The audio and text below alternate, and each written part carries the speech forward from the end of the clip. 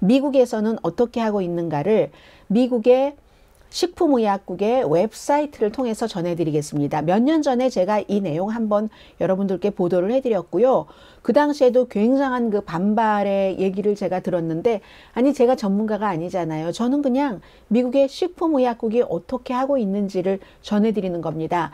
그리고 미국은 이 같은 그 해산물 더군다나 이렇게 위험이 있었을 때 이런 것은 꼭 식품의약국 한 군데서만 하는 건 아니거든요. 뭐 예를 들어서 수산부도 하고 농림부도 하고 환경부, 보건복지부 심지어 국무부에서도 철저히 점검을 합니다.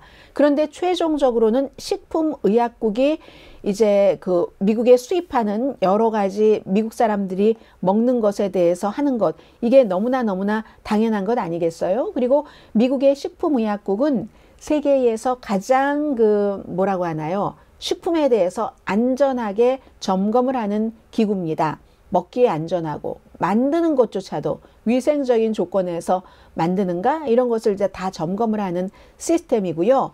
그래서 지금 어떻게 했는가를 전해드리겠습니다. 그리고 제가 이 아래에 왜 더보기 뭐 설명란 있잖아요.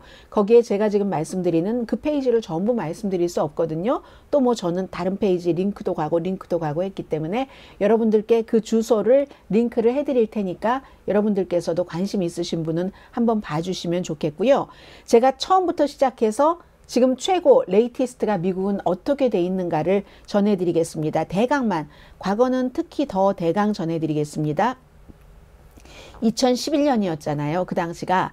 그래서 미국의 식품의약국이 도대체 소비자들은 이런 위반 가능성이 있는 식품들을 어떻게 그 구분할 수 있는지, 어, 그러면 그런 식품이 아니면 다른 것을 대체하는 식품을 어떻게 구할 수 있는지, 뭐 이런 것들, 그리고 일본이 과연 어떻게 하고 있는지 또 어, 무슨 일본의 제품을 사, 사도록 식품의약국이 권고를 하고 있는지 또 해산물 같은 것은 미국에 들어오는 것은 다른 나라에서 어디서 어떻게 분석을 하는가.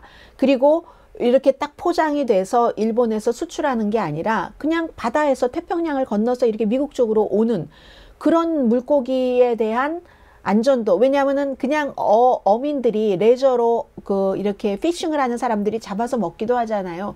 그런 것은 어떻게 안전한가 이런 모든 것들을 굉장히 자세히 설명을 했습니다. 뭐 예를 들어 원자료 사고와 관련돼서 뭐 요오드 뭐131 무슨 뭐 세륨 세, 세슘 뭐 이런 것 해서 무슨 등등등등 해서 그럼 FDA는 일본 해산물이 올 때 어떤 테스트를 하고 있는가?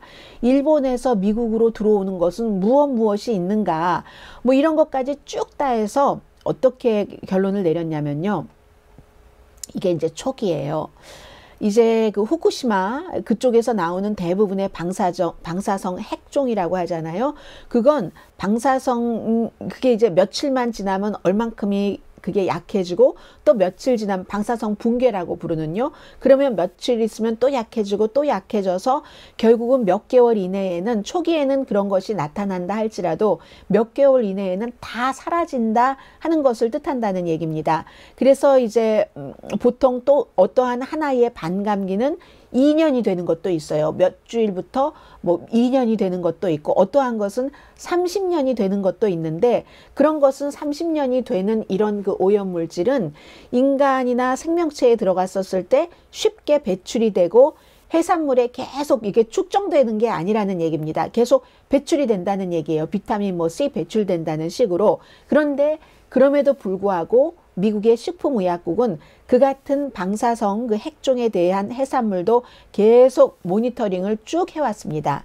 2011년 이후에 지금까지. 그래서요, 항상 제가 몇 년 전에 여러분들께 보도를 해드렸을 때는 딱 그 종류가 있었어요. 그래서 이게 얼만큼, 얼만큼, 얼만큼, 얼만큼 그렇게 했었거든요.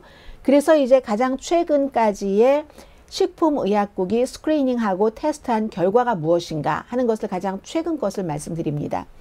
2021년 7월 27일을 기준으로 식품의약국은 1749개의 이제 일본에서부터 계속 수입했어요. 항상 이제 테스트하고 나서 안전하다 하면 수입을 하고 수입을 하고 했거든요. 그 테스트라는 것은 일본이 미국에 보내주는 샘플도 있고 미국이 이렇게 뭐 심지어는 태평양 바다에서 잡힌 물고기를 테스트하기도 하고 무작위로 일본 그 제품을 테스트하기도 하고 하는 시기였습니다. 1749개의 수입 그리고 이제 국내에 이미 들어와 있는 샘플에서 후쿠시마 그쪽 그쪽 지역이요. 오염 여부를 테스트를 했는데 1749개 가운데서 3개는 세슘 이게 정말 어머 인내할 정도로 밝혀졌답니다.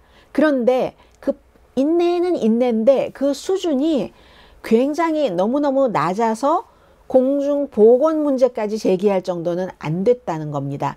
처음에는 물론 후쿠시마 뭐 원자력 뭐 뭐가 녹아내리고 오염되고 있었을 때 미국도 일단은 다 수입을 금지했었죠. 그리고 나서 이게 뭐 뭐 며칠, 몇 개월, 몇 주일 있으면 다 사라져 버리는 거니까 그 다음에는 그렇게 해서 아무튼 세 가지가 그동안 문제가 됐었는데 생강가루, 뭐 샘플 번호까지 다 써 있습니다. 이건 2011년 4월 달에 금방이잖아요. 4월 달에 후쿠시마 지진이 일어나고 쓰나미 있었잖아요. 생강가루였고 샘플 번호가 686901.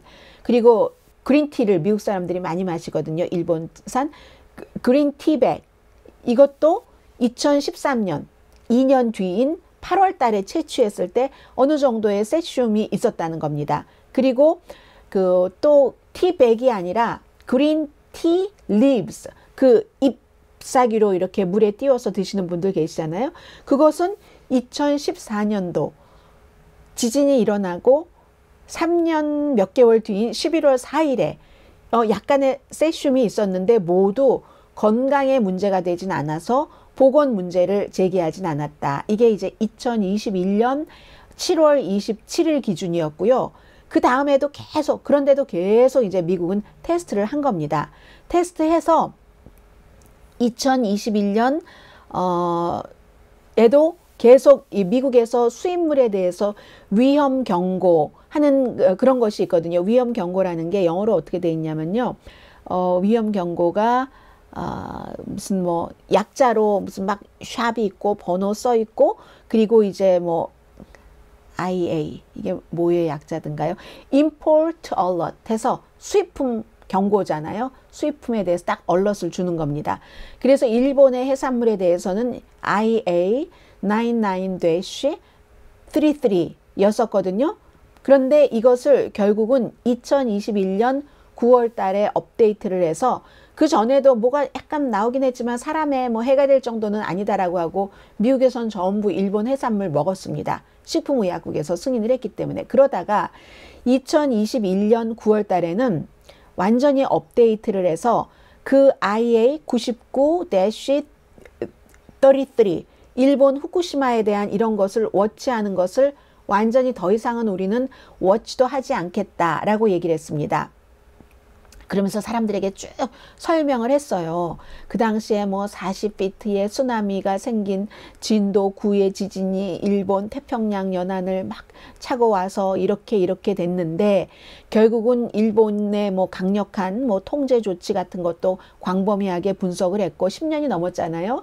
10년 동안 일본에서 식품을 샘플링한 결과도 검토하고 미국에서도 따로 검토도 하고 하는 것들을 해본 결과 미국 소비자에게 미치는 영향이 대단히 낮다고 판결, 판단을 한 뒤에 결국은 더 이상 필요하지 않아서 더 이상은 하지 않는다. 그러니까 이제는 일본 후쿠시마에서 오는 것도 다른 나라에서 수입되는 해산물과 똑같은 기준에서만 판단을 한다.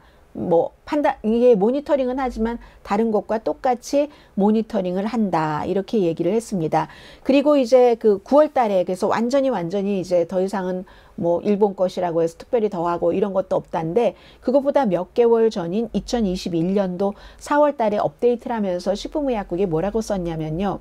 2021년 4월 13일 일본 정부가 후쿠시마 그쪽 그 원자력 발전소 부지에 저장돼 있는 오염수를 2년 후인 지금 이제를 얘기를 하는 거예요. 어, 방류하기로 시작했다는 결정을 발표를 해서 그런데 이제 쭉 보니까 그동안 뭐 방사성 핵종은 제거했고 약한 방사성 덜 유해한 무슨 뭐 삼중 수소만 남긴다는 건데 삼중 수소라는 것은 섭취하는 경우도 인간과 동물의 건강에 위험이 굉장히 낮고 또 바다로 배출되면은 이게 소금물과 합쳐지잖아요. 또 그전에도 이거를 이렇게 좀 희석시켜서 배출한다고 했고요. 그래서 이제 어, 영향을 미치지 않을 것이라고 믿습니다. 식품의약국의 얘기입니다. 미국 식품 공급에 따른 그 규정에 맞출 때 아무런 사람에게 해가 된다는 증거가 없고 어, 그래서 영향을 미치지 않을 것이라고 믿습니다. 여기는 미국 해안에서 잡은 태평양 바다가 다 통하니까 해산물을 포함한 식품입니다. 그리고 이제 9월 달에는 완전히 완전 이제는 더 이상 업데이트가 없습니다. 후쿠시마 그런 그 해산물에 대해서 자, 여기까지만 말씀드리겠습니다. 오늘도 야단 많이 맞겠네요. 자, 한국 밖에서 본 한국 여기서 끝내고요. 저는 그냥 미국 걸 전해드린 겁니다. 제가 뭐 이 분야의 전문가도 아니고 여러분들 알아서 판단하시기 바라고요.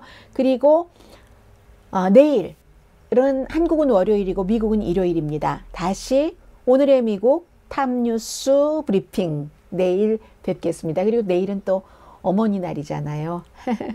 아주 그 즐거운 어머니 날 보내시고요. 내일 다시 뵙겠습니다. 강혜신이었습니다. 그리고 봐주세요. 제가 미국 식품의약국 웹사이트 이 더보기란에다가 다 그 주소 올려놓겠습니다.